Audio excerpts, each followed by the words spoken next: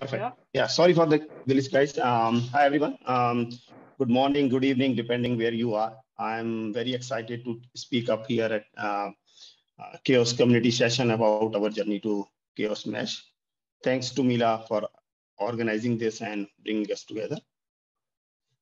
I'm Anurag Paliwal, and I'm working with Adobe from past 15 years.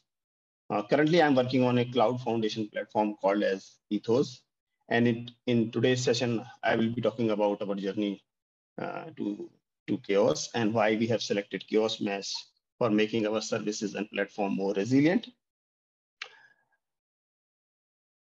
And what's coming next for us, what all other features that in future we are going to integrate. So let's start at very high level, um, the services at Adobe.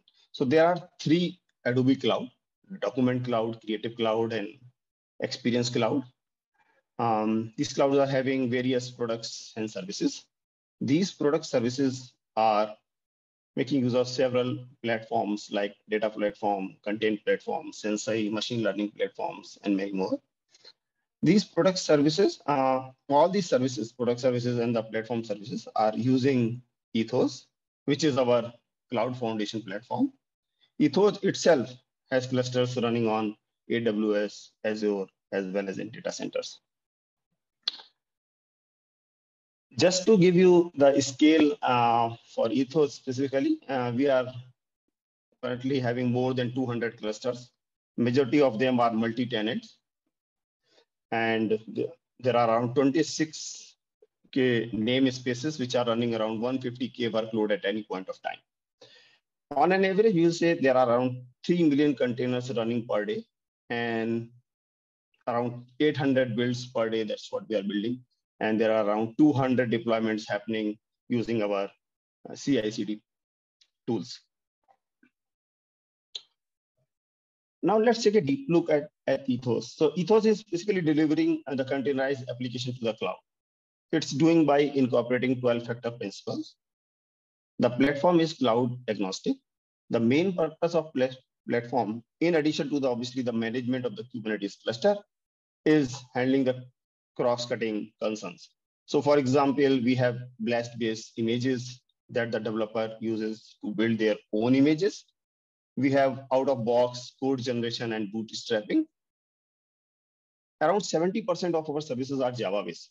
So we offer frameworks and libraries to do uh, things like you know connectivity between other Adobe services, logging, validations, and things like that.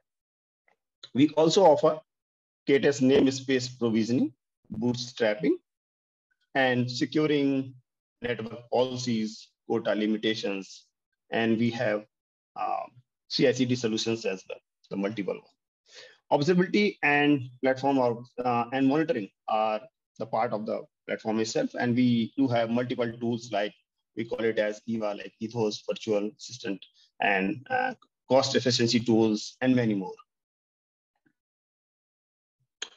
Now let's talk about very high level, you know, the journey that uh, Ethos in general had. Um, so we started, uh, Ethos started around 250. Um, 2015, uh, our clusters were running on Mesos DCOS with our homegrown tools that we have um, written from scratch. Uh, we provided abstraction to developer to deploy their services using configuration in cloud and technology agnostic way. In 2020, we migrated our all our clusters to Kubernetes with minimum impact on the services. Uh, with this move, obviously, now we can use community-driven tools and frameworks rather than our homegrown tools, which only we were maintaining. Now, when we talk about CHAOS, so these, these are the objective that we have in our mind. So building structural approach for injecting those faults rather than following any manual process or anything like that. And then in continuous in, uh, CHAOS, because once you do the CHAOS, it's always good to integrate with your pipeline, the deployment pipeline, and follow the industry best practices. And obviously do the recommendations, you know, in this scenario, this is what we should do, and uh, something like that. With the outcomes, um, obviously this will, the, the goal is obviously to prevent outages and if even in case there is something, some outage happens, uh, the blast radius of that impact should be as, as minimum as possible.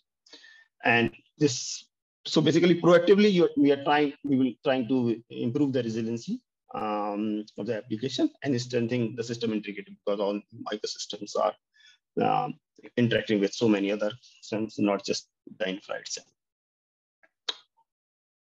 Now let's talk about why chaos mesh.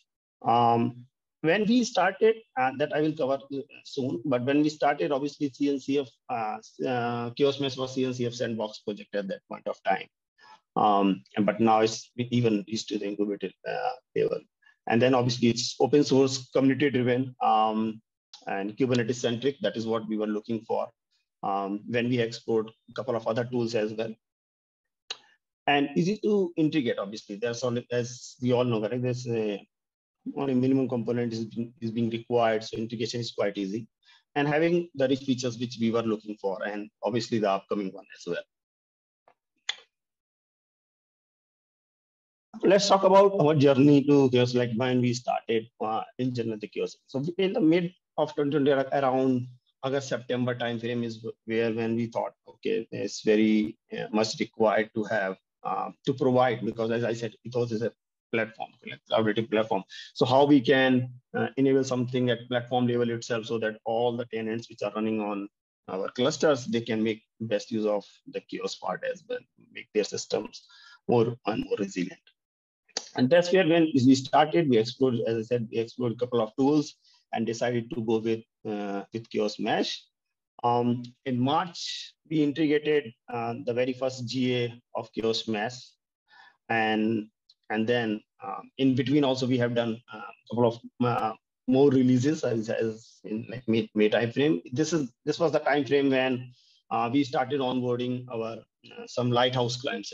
Lighthouse means the clients which can try it out, you know, so that um, they can give us some feedback uh, and we can also learn because it, it, everything was new for us as well. Correct? So we were also learning how things are working uh, under the hood, uh, how it works. Uh, obviously, network and all those are even the stress on those are all are very you know becomes very crucial um, just not from, from the execution perspective and under the hood also you have to understand from those perspective you know how things are working um, and that's what we we so that learning also started and the lighthouse onboarding also started so clients started using uh, uh, the chaos mesh we enabled out, out on few of the our clusters where basically their services were deployed and that's how we started.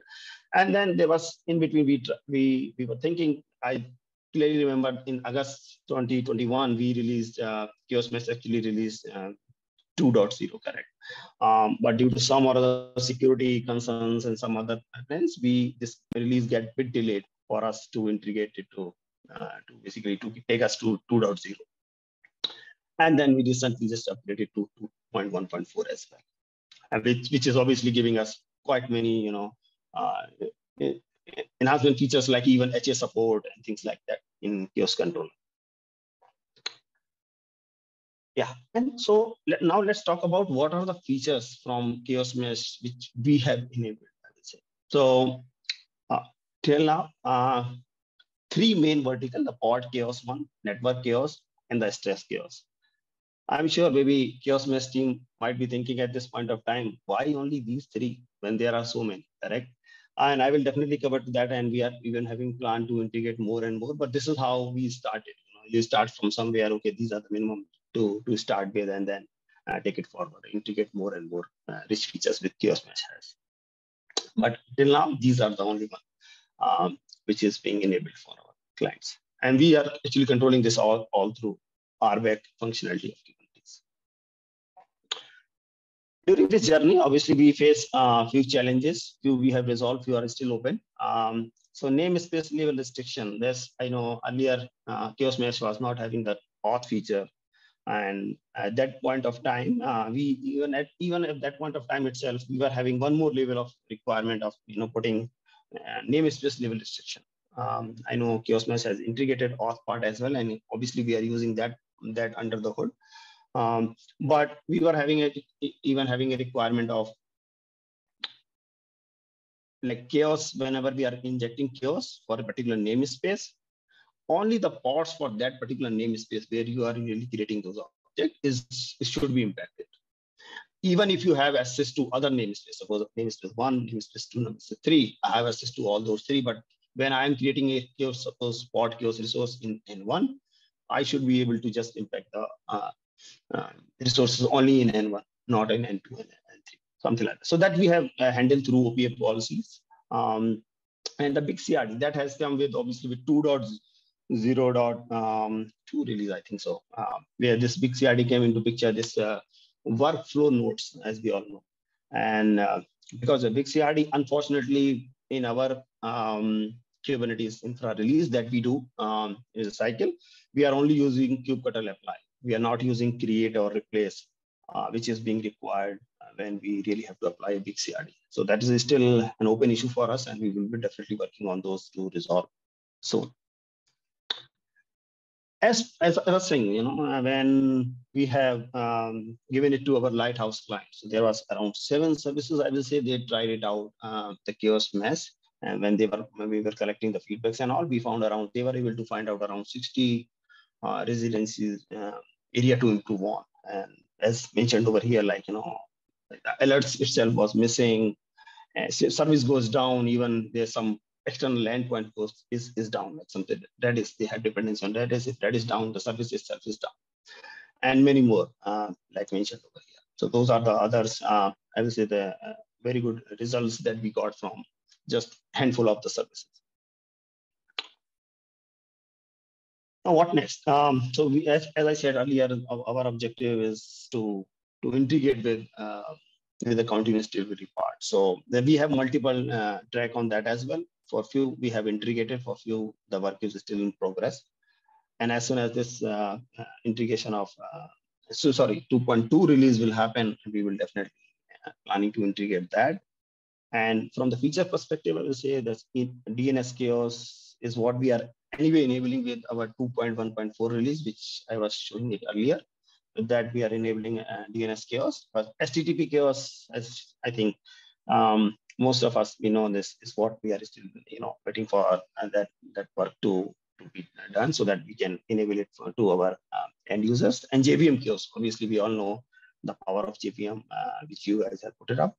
Uh, we will definitely want to integrate that as well and enable workflow feature as I said. So th that challenge, when we will work on that challenge, resolve that issue, we will definitely enable on the workflow feature as well. And make best use of available metrics, obviously, because there are chaos now with especially 2.0, there are so many other work has been done in this area. Few we have explored during 1.2 exploration as well, and sorry, 1.1.3 exploration as well. And there are few metrics that we have explored that point, but I'm sure now there are many more which I was going through and the codes and PRs and all. So that's what I will say at high level, and I will. I definitely want to say thank big thank you to to the team uh, because whenever I was having any issues, even in investigation that part, or was not clear anything to me, I was always reaching out to you guys, and I think I got always a very prompt response, yeah, not in, in in in those discussions, but also in the PRs and all. So thank you very much. That's all. Oh, thank you. Thank you. Thank you for that wonderful presentation. Thank you for using like so many versions of Chaos Mesh. We're so glad that you like it. And we hope, we obviously hope that you continue to use it in the future and also bring us all the issues you have. Sure. Um, so um, I think we'll get to the technical updates now. Uh, well, uh, hi, hi, Mila. Yeah. Hi, hi, Mila. I mean, uh, well, I have, have a little uh, question I, I want sure. to ask. Yeah. Sure. Uh, I, I noticed that uh, you said uh, the ethos uh, uh, it will controls about hundreds of Kubernetes clusters uh, so uh, will you have the requirement, uh, uh, will you have the demand uh, for the uh, chaos experiment uh, about uh, uh, Kubernetes multi-cluster? Uh, for example, you want to inject uh, network chaos, but one side is one uh, but, but one side is a workload work running in uh, cluster A, but and another side is running uh, in another Kubernetes cluster. Yeah. Yeah, yeah, yeah, yeah. I, have, I have uh, as you said, you know, this sort of thread I have seen even on Slack, and I think there is an even an issue open from someone uh, which is having this sort of requirement. And I think earlier there was also a thread on Slack on the same feature. But uh, as of now, I will say we are not looking for that feature uh, uh because uh, yeah, yeah, we are not looking for that feature. I will say um, from that perspective, I will say definitely we are looking for uh, very much to HTTPS support, especially for egress calls. Uh, I think that active discussion is going on, and that is what um, we are looking. But yeah, this is support installing in one cluster and using across cluster is is different. We are not looking as of now. Okay, okay, I, yeah. okay. Uh, I think I got it. Thank you, thank you. No problem. Yeah. A any other uh, question? Yeah. Uh, uh, sorry, I, I have no other questions. Thank you. No problem.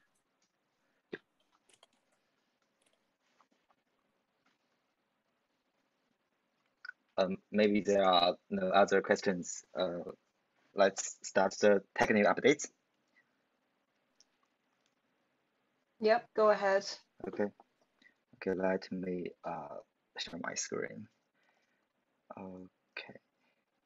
Wait for a minute.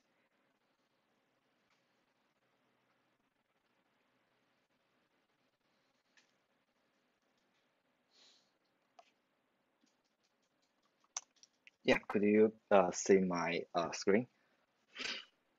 Yes, we can. Uh, okay, okay. Uh, hello everyone. Uh, my name is Zhiqiang and my uh, GitHub ID is uh, STRRL and uh, I'm the committer of Chaos Mesh uh, and I will introduce the uh, technical update. Uh, firstly, uh, a special thanks to CNCF. Uh, in the last month, CNCF uh, gave us many computing resources for uh, for help helping Chaos Mesh build the uh, FSMCI infrastructure, uh, infrastructure uh, including uh, uh, GitHub Action Enterprise Plan and some uh, bare metal x68 and ARM computing resources. Uh, we would properly use these computing resources to speed up test and increase and increase the test coverage, especially on uh, ARM platform. Uh, and again, uh, thanks uh, CNCF. Okay, uh, there are so many uh, exciting features and enhancements built up in the uh, last month. Let's uh, just take a look. Uh, the first one, uh, the status check. Status check is uh, the uh, one of uh, important uh, feature about uh, the integration with applications healthy. Uh, it could detect the health and availability of uh, the application and provide uh, detailed probe history uh, histories. When the application goes down, status check could shut down the chaos experiment uh, uh, with uh, yeah uh, uh, with workflow. Uh, that's very cool. And uh, currently we support the uh, use of HTTP as a common way to uh, detect uh, application health, and uh, you could use Chaos Mesh workflow to uh, orchestrate uh, status check with other uh, Chaos experiments uh, in serial or parallel uh, as continuously health check or synchronized health check like like assertion. Okay, next is chaos control. It's about chaos control. Chaos control provides a new command called uh, recover, chaos control recover. Uh, it is the outbound recovery uh, mechanism, uh, uh, bypass the origin, the original reconciler pattern, and uh, and also CRD, uh, and also CRD. Uh, it could be a powerful tool to force recover uh, recover the chaos experiment. Uh, the next uh, time chaos could be uh, completely recovered. Uh, that's a little about the uh, detailed implement of the time chaos. Uh, time chaos time scale is one of the most fancy thing provided by Chaos Mesh. Uh, it could change the clock, uh, the clock of the process without change the hardware clock. Uh, you could find how we implement it on our blog. Uh, but there is a little dirty work when we recover the time scale before. Uh, we set uh, uh, we set the time offset to zero. Uh, so we, we think uh, so, so it looks like that uh, the the time comes back to normal. Uh, so we think it's, it is uh, recovered. Um, and after this uh, PR merged, uh, we could finally clean up. We uh, uh, uh, we could finally clean up all we did on the processes. Uh, and this feature also introduced uh, components like uh, the manager of different time chaos, and it could uh, resolve uh, uh, resolve that we could inject multiple time chaos into one process. The manager would aggregate would, aggregate that. The manager would aggregate them. Um, so it is based on providing more, more other type of uh, chaos, time chaos and uh, maybe the similar manager pattern of time chaos could also be introduced to uh, other other type of chaos. Uh, maybe a great enhancement of managing many chaos experiment overlapped with the same target. Okay, uh, and the next uh, thanks to our contributor XL Gauzidiu, uh, he make uh, he makes up the uh, improvement of Chaos Daemon. Uh, this is enhancement comes from the real product, uh, the real production environment in his company. Uh, Chaos Daemon would not works after the uh, controller runtime restart. Uh, because we uh, only mount the single socket file into the uh, Chaos Daemon container, uh, which would be invalid after controller runtime restart. So uh, thanks uh, uh, he contributes uh, this improvement uh, mounts the directory in this instead of uh, the single socket file.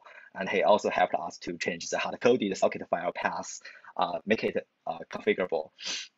And mm, there are also eight merged PR about refine logging, uh, thanks to uh, all of our, our contributors. And there are also uh, several uh, enhancements um, in our machine level chaos injection tools called uh, Uh, it could support direction both for uh, networking partition and it introduces a new type of chaos uh, file attack, uh, which could change the content of certain file and uh, change the permission and so on. And Chaosd just released 1.2.0 uh, uh, yeah, a 1.2 pod, a 1.2.0 uh, recently, and uh, it, it could be a be a try.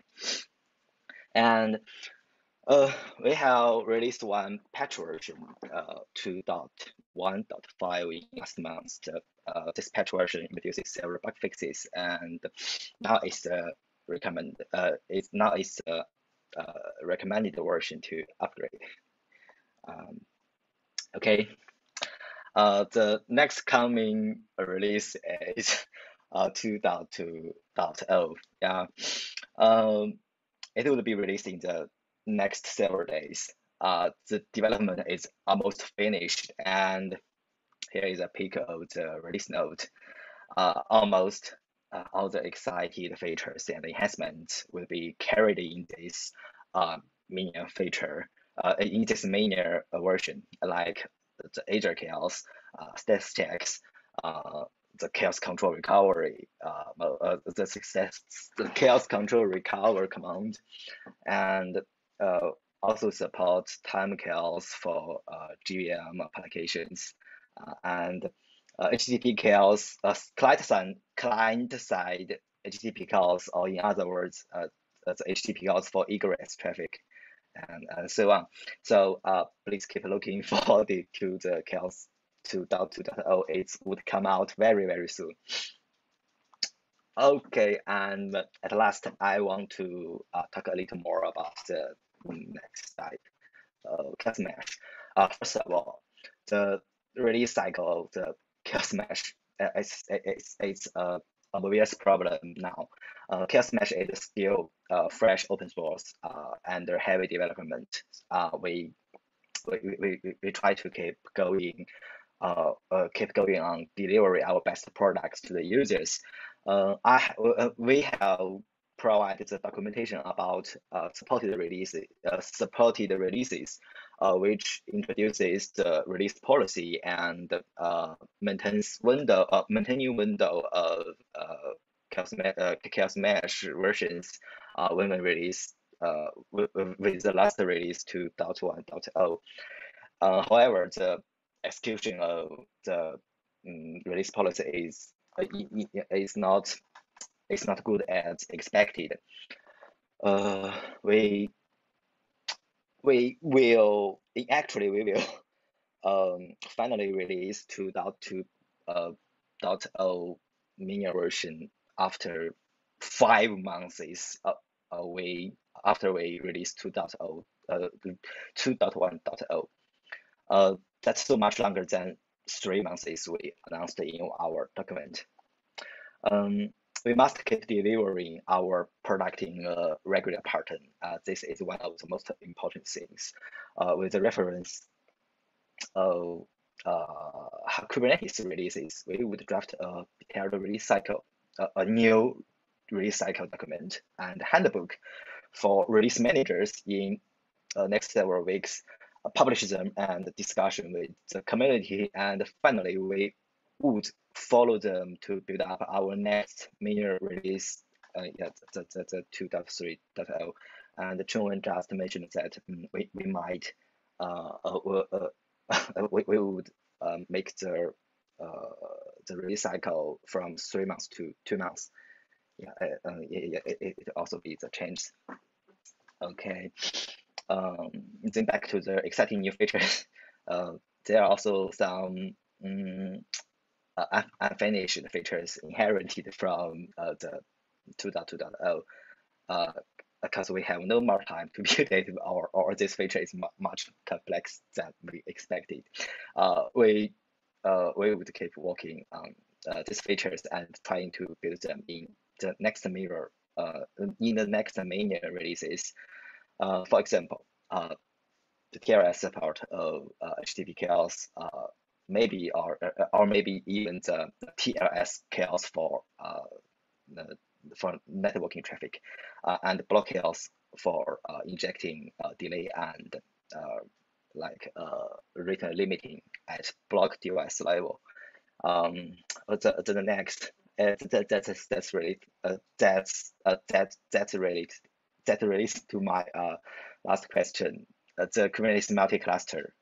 Yeah, Mm, the, the multi-cluster is also the new direction uh, we are discovering on because uh, many usage of uh, Kubernetes multi-cluster will cover uh, will, will, coverage uh, uh, will consider the usage of virus networking. Uh, maybe I think uh, uh, Chaos Mesh could resolve the uh, chaos injection for multi-cluster scenario. And uh, actually, uh, because of the release cycle things, um, uh, what feature should be carried in the, uh, or which feature should be carried in the next mini version should also be included uh, as a document. And it requires discussion with community. So uh, what's listed here is just a, a view, a, a, it's just an overview uh, that we need all our contributors to make chaos mesh better. Okay. Uh, yeah. Uh, if you have any good question, uh, if you have any good idea or, or suggestions, uh, please feel free to communicate uh, to communication with us. Uh, open this uh, open discussion uh, or issues on GitHub or send a message on our Slack channel. Uh, thanks. That's all. Thanks. I, I have finished my presentation. Yeah. Hello, Mila. Yes, thank you, Zhiqiang. Uh, so if anyone has any questions, you're welcome to ask before my session begins.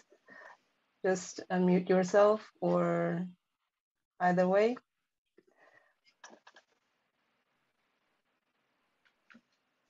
All right. If nobody has any questions to ask for now, um, I'll just get started with community updates to let you guys in on what we have been up to in the past month. Um, so Chaos Mesh is excited to be part of KubeCon. I believe it's um, in Valencia, Spain this summer, which is happening in two weeks, I think.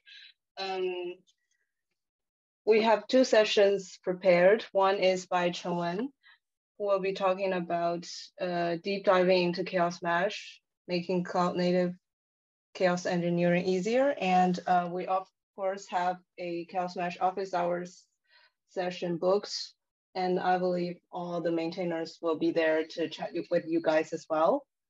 So make sure you sign up for those at the KubeCon page. And we also have been um, thinking of ways to update the Chaos Mesh governance to improve your experience in the Chaos Mesh community.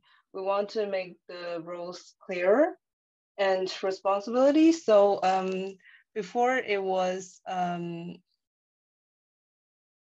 so uh, before you have to be a contributor or user and then you are a committer and then you become you might become a maintainer.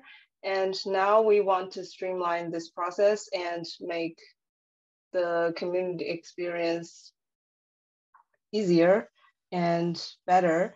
Uh, so we have changed, we're proposing to change the progression path to contributor, which has literally no boundaries.